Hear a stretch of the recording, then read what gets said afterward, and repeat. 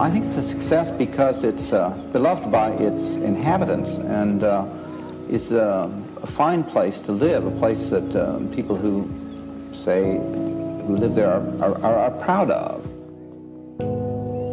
The most important thing of planning a, a community is location.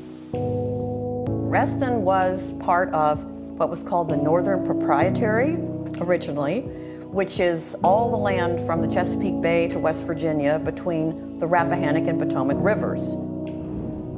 He was one of the dreamers that kind of had this vision for like a better way that, that human settlement could be developed.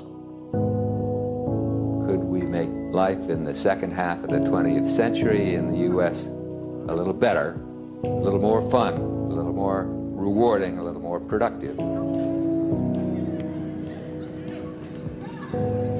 The concept was to have as much as we could possibly dream up uh, available to the people who would be moving into Reston. Not that we were planning their lives, but that we wanted to have the opportunities out there for them to seize. Many times through the session, you hear me refer to my home community of Reston and how honored I am to represent what most people acknowledge as the most successful planned community in the country.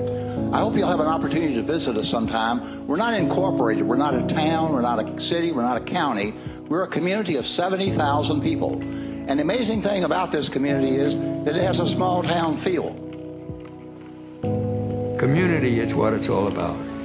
Community is the interaction of people. That's my definition of community. I don't know if anybody else likes that definition, but I think it is. Community is interaction. And plazas are designed to foster interaction.